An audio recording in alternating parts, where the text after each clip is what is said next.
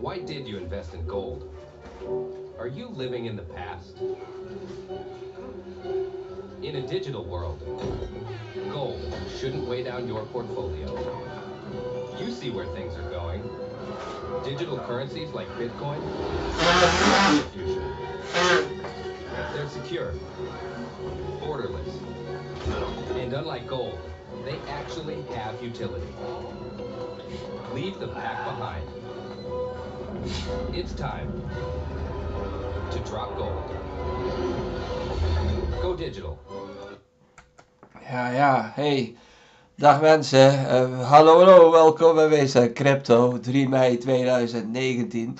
Meeste crypto die in een wrak is veranderd, daar in, uh, in Limburg. Ja, daar heb ik de afgelopen 5, 6 dagen gezeten, dat weten jullie ja, met mijn schoonouders. Hallo schoonmoeder, ja die kijkt ook, dat wisten jullie al hè. Uh, maar ja, het is allemaal niet zo goed afgegaan daar hoor. En ik weet niet of het die chemtrails waren. Ik, ik zag zo'n vliegtuig overvliegen. Of uh, ik kwam, ja, het, het, leek wel zo'n Al-Qaeda-gast. Maar het kan ook een rode JC-supporter zijn geweest. Kan ze altijd moeilijk aan elkaar houden. Maar puntje bij paaltje. Ik heb van iemand verkoudheid gekregen. En oh, ben, dan zit ik altijd vol met zelfmedelijden. En uh, jullie hebben natuurlijk ook ontzettend veel medelijden met, mij nou. Je hoeft er niet om te huilen. Je hoeft er echt niet om te huilen. Ja, een beetje om te huilen misschien. Maar het komt vast wel weer goed bij mij. Nou, hier zijn mijn vakantiefoto's. Zijn jullie ook weer op de hoogte, hè? Was, uh, was leuk hoor. Laten we vlug eens gaan kijken naar de kaart, hè? Uh, en ja, de kaart, dat gebeurde vandaag nog al het een en ander, hè? En de afgelopen dagen was Bitcoin sowieso al op stoom. Uh, ik doe mezelf even hier naar beneden. Zie jullie mijn hoofd nog wel glimmen. Maar uh, vandaag is Bitcoin boven de 100 miljard marktkapitalisatie gegaan. Kijk, een belangrijk punt in uh, het bestormen weer van de markten, zullen we maar zeggen. En Peter Brandt, een klassiek technisch analist met jarenlang ervaring, die stelde ook de laatste keer dat het Factors Benchmarks Weekly uh, uh, waarbij de prijs omhoog, de trend omhoog keren, boven die Factor Benchmark, dat ene. Nou, toen ontstond eigenlijk de hele boelmarkt van Bitcoin. En ik ga het niet uitleggen, want ik kan het niet uitleggen. Ik weet niet wat heel die benchmark is. Hè, schud het maar in mijn hoed, dan zoek ik het morgen wel uit. Maar ik wil het toch even genoemd hebben vanwege uh, de reputatie van Peter Brand en uh, het bullische nieuws wat mooi bij deze markt hoort. En als ik meer tijd had gehad en meer, fut, had ik het gedaan. Maar ik heb een hele keur van nieuwsberichten voor jullie en ik kijk ook nog even met jullie naar de markt sowieso. Dus, nou, vergeef het me voor deze keer, zoek het lekker zelf uit. Waarom staat dit zo in een hoekje? Kom, nee, oh, oh, oh nee, mislukt. Het heuvel is alweer opgelost. Ja, ja, knip- en plakwerk. En je merkt er niks van. Hè? Uh, hier is Bitcoin. Uh, kijk, wat ik eigenlijk wil aantonen. Uh, is, dit is zo'n falling wedge. Maar dan op een wekelijkse kaart. En ja, daar zijn we eigenlijk met verven uitgebroken. Met verven, het volume mocht hier nog wel wat hoger zijn. Maar laten we niet een kniesoor zijn die daarover miauwt. ja. Uh, ook op een andere kaart, hè, als je kijkt, uh, nou, dit ziet er natuurlijk heel erg uit alsof de beermarkt voorbij is. En let wel, voor 99% denk ik ook dat die beermarkt echt voorbij is. En we hebben hier steeds higher lows gekregen. En ook na deze enorme candle hebben we helemaal geen uh, terugtrekking gehad. Sterker nog, we hebben wat consolidatie gehad. En we gaan verder door naar boven toe, zou je kunnen zeggen.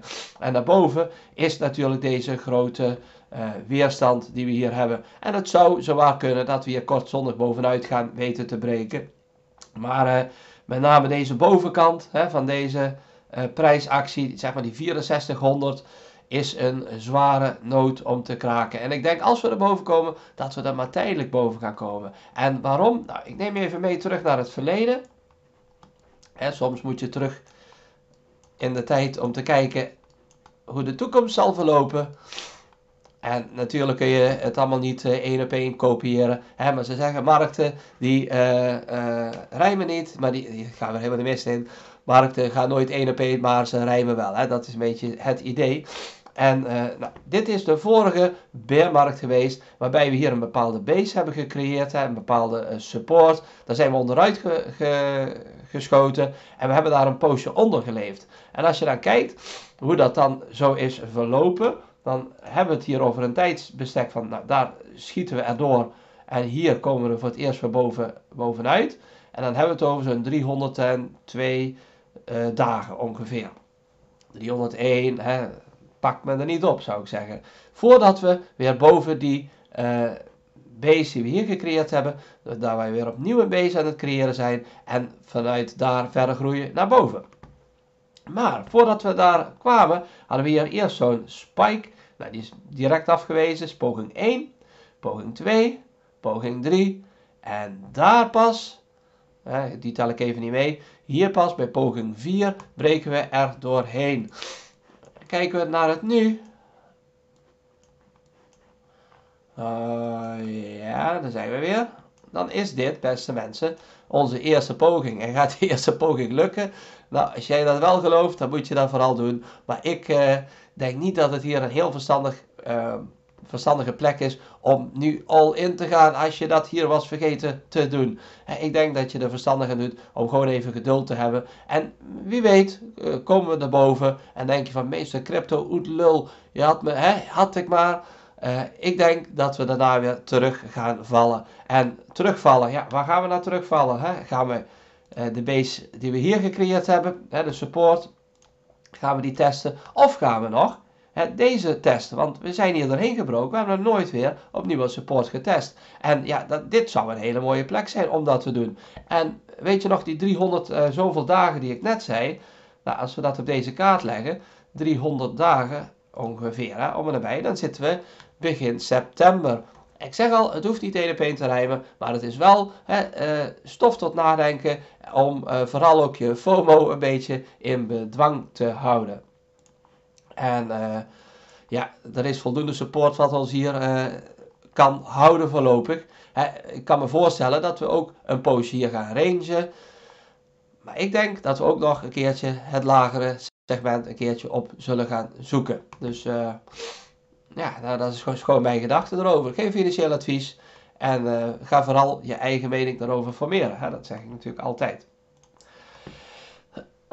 nou, wat hebben we allemaal in petto nog voor jullie? Ik, ik, ga er een beetje oppervlakkig doorheen, want anders wordt deze video veel te lang. Uh, maar dit is wat mij een beetje de afgelopen dagen voorbij is gekomen. Dat ik dacht, hé, hey, dat is leuk, daar waar ik straks even een video over maken. Ah, ellende, ellende, die Limburgers. Dat hebben ze me toch aangedaan. Nou. Wat ben ik toch zielig. Echt heel zielig. Ik wil in bad liggen.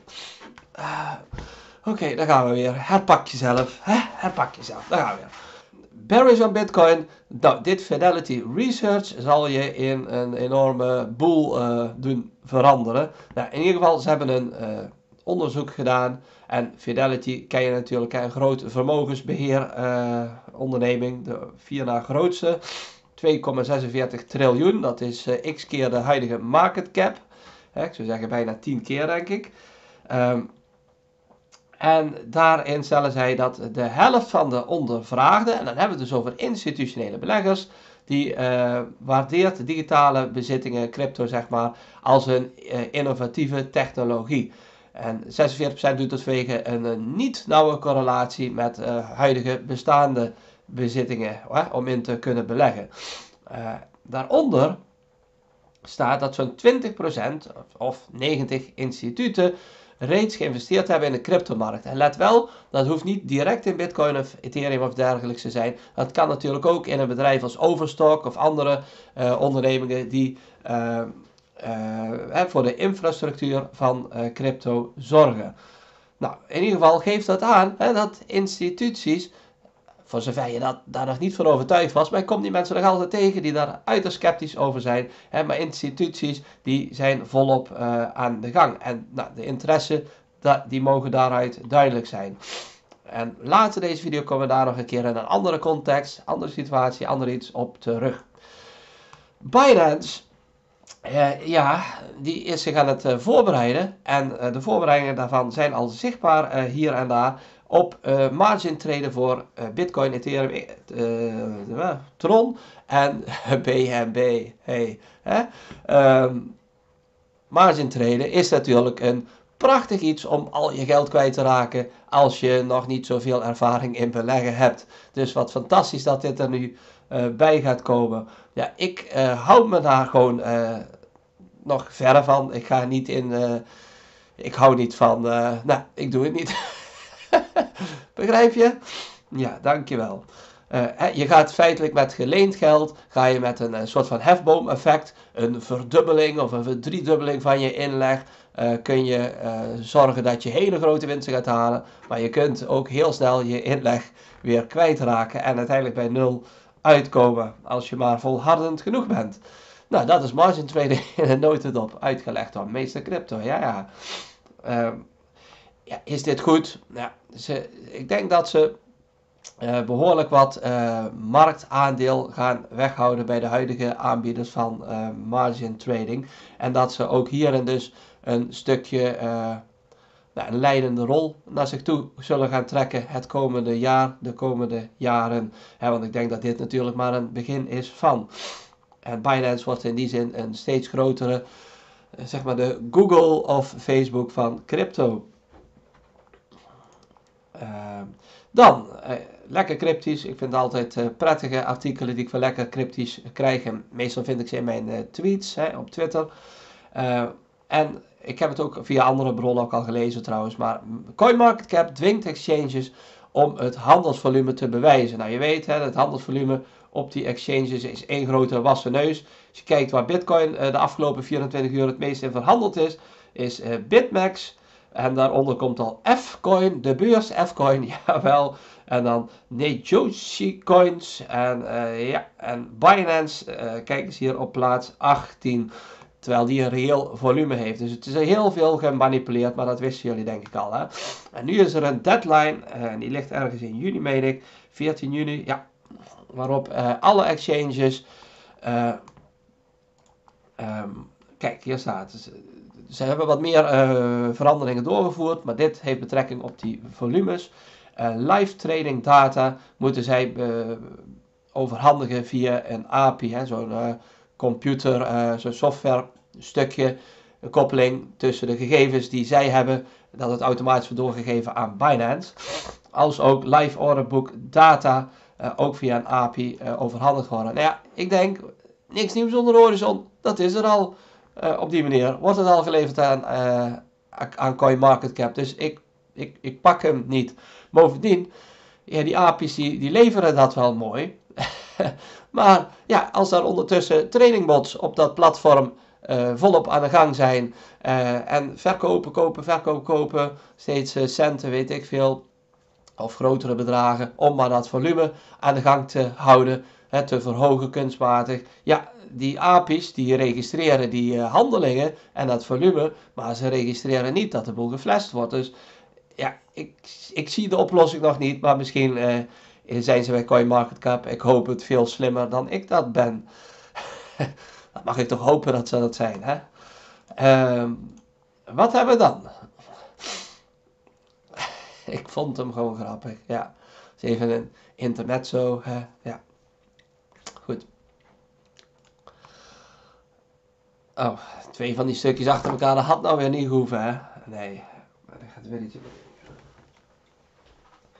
Zoals jullie gewend zijn is het een uitzending weer vol met onsmakelijkheden en onderbrekingen. Hè? Maar jullie pikken het toch allemaal wel even bij, hoop ik. Um, Icon ICX. Ik heb een aantal. Ik heb ook daar Chainlink. Ik heb VeChain. Um, een aantal van die projecten die in het verdomhoekje liggen. Moet je bijvoorbeeld kijken hier hoe uh, Icon erbij ligt. Hè, op uh, ja, het uh, dieptepunt, het putje van of bijna bij hun putje eigenlijk, hè, hun uh, all-time low zo gezegd. Maar ondertussen staan ze niet stil. En uh, Teddy die wees mij op uh, dit artikel van Icon Icon World, waarin ontwikkelingen op het gebied van interchain, interoperabiliteit zou je kunnen zeggen, gemaakt zijn.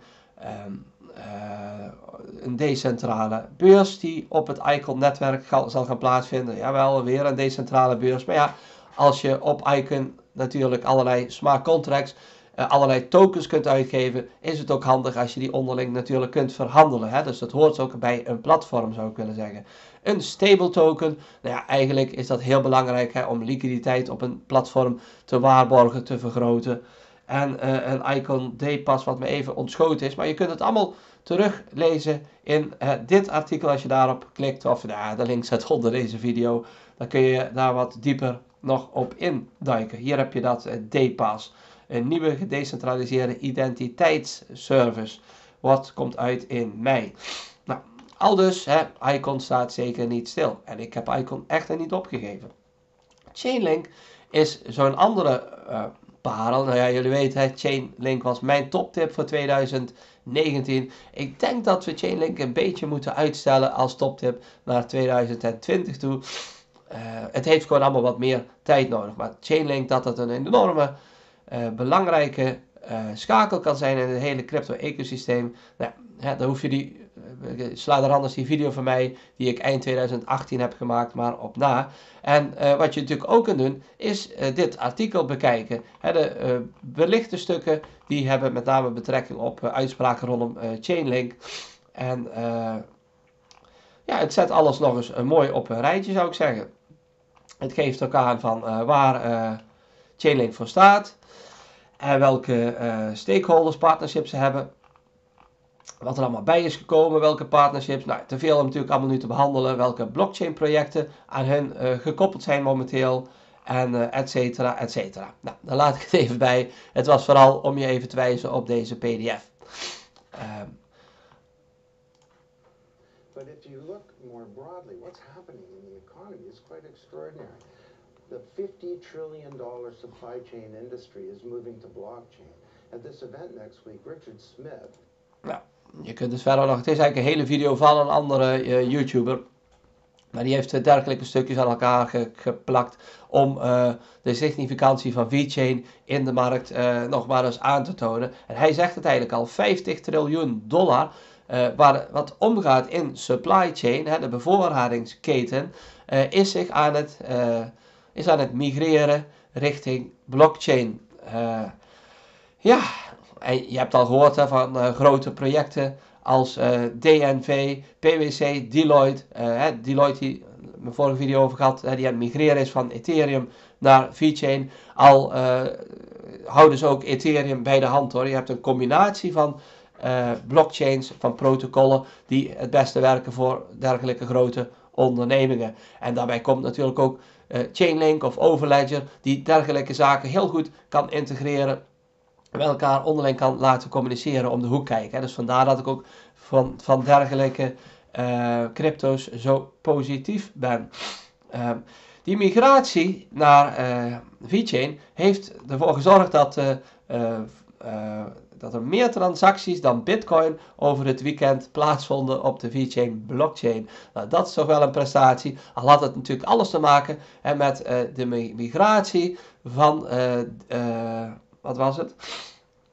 van DNV naar die VeChain blockchain. En niet zozeer het alledaagse transactieverkeer. In één keer moet je al die data op die blockchain terecht brengen. Begrijpen jullie een beetje wat ik bedoel? Ik hoop het, want ik uh, heb het wel eens beter verteld. Maar goed, het gaat om het punt. Hè? VeChain is here to stay, zou ik maar willen zeggen. Um, dan hebben we, vond ik ook wel interessant, en dit is een beetje het einde van uh, waar ik hier uh, mee begon bij het stukje rondom Fidelity. Oh. Is, dat wil ik helemaal niet. Kom eens terug. Ik laat hem toch maar zo staan. Ik hoop dat je hem nou goed kunt lezen, want anders springt hij naar het artikel toe. Uh, het is waarschijnlijk dat de meeste mensen Bitcoin eh, gaan gebruiken in de komende 10 jaar. Hebben ze aan uh, een uh, groep mensen voorgelegd. Ik meen 2, 2000 plus volwassenen in allerlei groepen. En dan hebben ze een onderscheid tussen de lente van 2019, dat is het donkere, en de herfst van 2017, dat is de lichte. Nou, dan zie je dat overal uh, de overtuiging bij het volk, hè, zo gezegd, aan het groeien is, dat dat het geval zal zijn. En ze hebben er nog enkele meer gemaakt. En we bedenken ook wel, we zitten nu in een beermarkt ten opzichte van herfst 2017. Toen was het een boelmarkt. Hè? Dus ondanks die beermarkt is het sentiment rondom crypto en bitcoin, et cetera, uh, groeiende. Positief, in positiviteit, uh, positieve zin groeiende. Dit is een percentage mensen die dus ooit gehoord hebben van bitcoin. Ook dat is groot. Nou, in de bevolkingsgroep tussen 18 en 34 jaar ik zei net 20 plus, maar het is 18 plus, uh, is dat zelfs 90% nu die er wel eens van gehoord hebben. Ik zou ook zeggen, onder welke steen heb je geleefd als je er nog nooit van gehoord hebt. Um, en wat is dit? Een percentage dat enigszins uh, bekend is met Bitcoin. Dus dan gaat het wat verder dan ervan gehoord hebben. Dan heb je wellicht al een keertje een wallet gedownload of je hebt een keer, et cetera. Binance ingelogd, noem maar op. Ook dat is groeiende in alle bevolkingsgroepen. Uh, en Bitcoin is een positieve innovatie in financiële technologie. Het percentage dat daar sterk of enigszins mee eens is, nou, 59% van de 18 tot 34-jarigen, 50% van de 35-jarigen, uh, 35 tot 44, 39, ja, ik ga ervan uit dat jullie het ook zelf kunnen lezen. Ik twijfel een beetje, want het zijn kleine cijfertjes. En uh, het is waarschijnlijk dat uh, de meeste mensen Bitcoin gaan gebruiken in de komende 10 jaar. Daar heb ik, ben ik het zeer mee eens, of enigszins mee eens. Nou ja, dat zit nog steeds onder de 50%, ook bij die jonge lui. Dat vind ik toch opmerkelijk. Maar misschien denken zij, het zullen andere crypto's gaan worden. Of, uh, of ze hebben nog heel andere gedachten, wie weet. Nou, het staat in de linker onderbij, kun je het zelf rustig eventjes gaan bekijken nog, toch? Nou, dit is net tevoorschijn gepopt. Deze man, en uh, ook dit filmpje zet ik er als link bij. Even het begin laat ik even horen. Maar hij vertelt bij, uh, ik meen een hoorzitting. oh, dat is mijn kaart over spelen. Ik heb geen idee of het een hoorzitting was. Waarbij je op een waarschijnlijk belangrijke plek vertelt hij wat Bitcoin is. Wat is dit toch weer een video geworden? Bitcoin is the world's first cryptocurrency, and it works because of the world's first public blockchain network. What does Bitcoin do? Simple. It lets you send and receive value to and from anyone in the world using nothing more than a computer and an internet connection. Now, why is Nou, daar gaat hij nog even twee minuten over door hoor. Dus uh, het wordt wat verder uiteengezet. En aan jou natuurlijk om dit gewoon van buiten te leren. En op het moment dat uh, tante Betsy je vraagt van wat is bitcoin nou eigenlijk?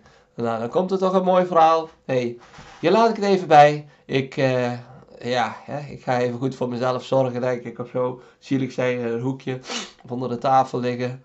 Mijn vrouw lastig vallen. Die dingetjes, hè. Um, ja, tot de volgende keer. Let goed op je portfolio. En uh.